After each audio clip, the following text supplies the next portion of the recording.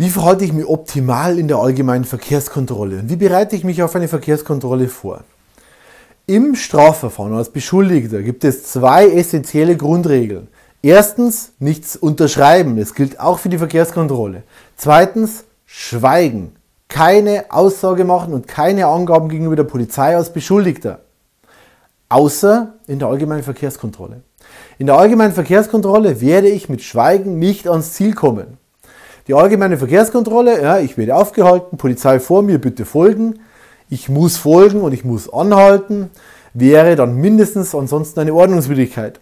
Ich halte an, der Beamte geht zum Fenster, bitte Fenster öffnen. Punkt 1. Ich habe dann meinen Führerschein und meine Fahrzeugpapiere griffbereit. Das heißt vielleicht Führerschein im Geldbeutel und Fahrzeugpapiere im Handschuhfach.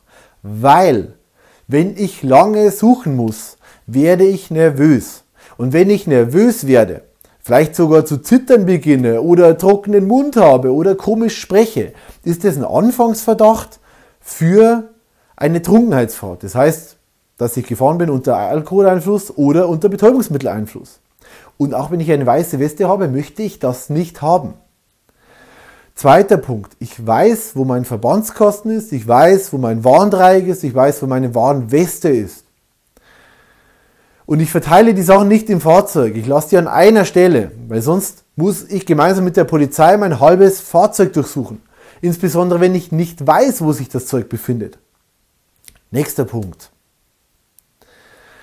Dann wird mich die Polizei wahrscheinlich befragen, ja, wo kommen Sie denn her, wo fahren Sie denn hin?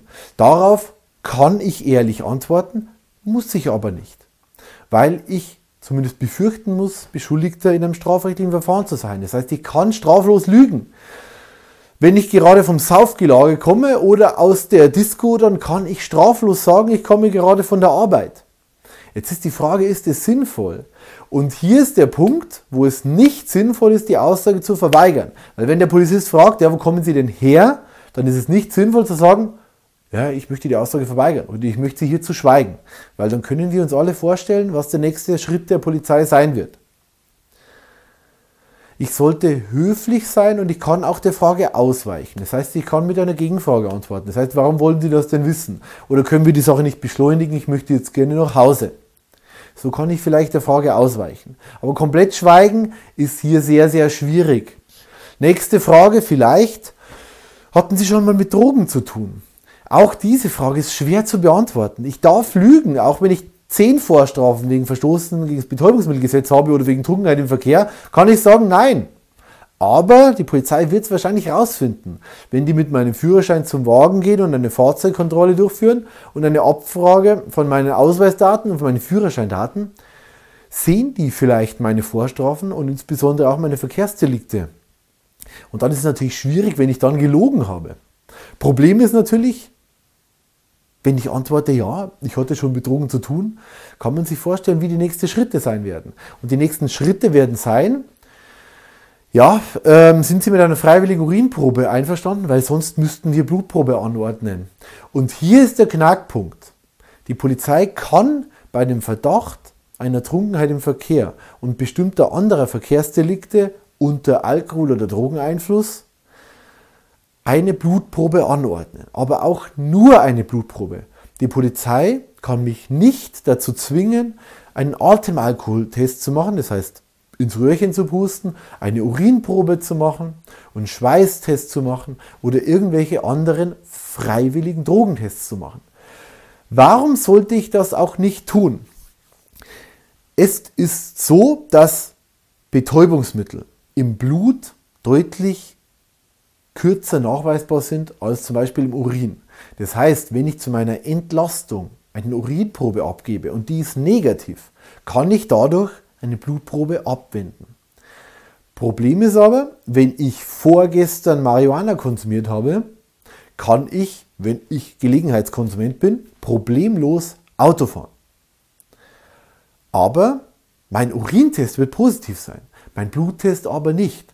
Das heißt, wenn ich dann eine freiwillige Urinprobe abgebe, wird die positiv sein auf Abbauprodukte. Und dann muss die Polizei eine Blutprobe anordnen. Das heißt, wenn die Urinprobe positiv ist, wird die Blutprobe erst recht positiv sein. weil eben diese Nachweisbarkeit im Urin so viel länger möglich ist, ist es nicht sinnvoll, eine Urinprobe abzugeben. Weil du mit einer Urinprobe sehr selten eine Blutprobe abwenden kannst. Du schaffst dann nur einen Tatverdacht, den die Polizei nicht ignorieren darf. Das heißt, es wird dann mit fast sicherer Wahrscheinlichkeit eine Blutprobe angeordnet. Nächster wichtiger Knackpunkt, freiwillige körperliche Drogentests. Das heißt, Finger-Nase-Test, auf einer Linie gehen, 30 Sekunden abzählen oder wie nur das A, ähm, das Alphabet rückwärts aufsagen. Solchen Tests nie zustimmen. Diese Tests gehen immer nach hinten los. Erstens, du wirst so nervös sein, dass du bei den meisten dieser Tests vielleicht nicht versagst, aber zumindest nicht optimal handelst. Das heißt, du wirst nie 30 Sekunden genau nach Stoppuhr abzählen. Du wirst nie konkret genau auf der Linie gehen. Finger-Nase-Probe auch nicht ganz so leicht, auch im nüchternen, aufgeregten Zustand, vielleicht in der Nacht, in dieser Stresssituation der Verkehrskontrolle. Diese Tests haben zwei gravierende Nachteile. Erstens, wenn du auch nur in kleinem Maße scheiterst oder Abweichungen oder Fehler zeigst, ist das ein Anfangsverdacht. Das heißt, du gibst damit der Polizei den Verdacht, eine Blutprobe anzuordnen. Zweitens, wenn du bei diesen Tests scheiterst, dokumentierst und beweist du damit Ausfallerscheinungen. Das heißt, du hast nachgewiesen den Einfluss von Betäubungsmitteln auf deinen Körper und auch auf deine Fahrtüchtigkeit und nicht nur positiv Betäubungsmittel oder Alkohol im Blut. Du weißt damit im Gerichtsprozess zum Beispiel nach, dass du nicht in der Lage warst, dein Fahrzeug sicher zu führen. Das heißt, du wirst sehr, sehr viel schwerer bestraft werden, weil du dann eher im Bereich der Straftat bist. Das heißt, der Trunkenheit im Verkehr 316 StGB und nicht mehr im Bereich der Ordnungswidrigkeit. Das heißt, du kommst vor Gericht und nicht in den Bereich der Ordnungswidrigkeiten mit einem Bußgeldbescheid.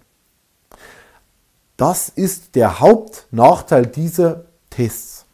Ansonsten gilt immer höflich sein zur Polizei, höflich aber bestimmt.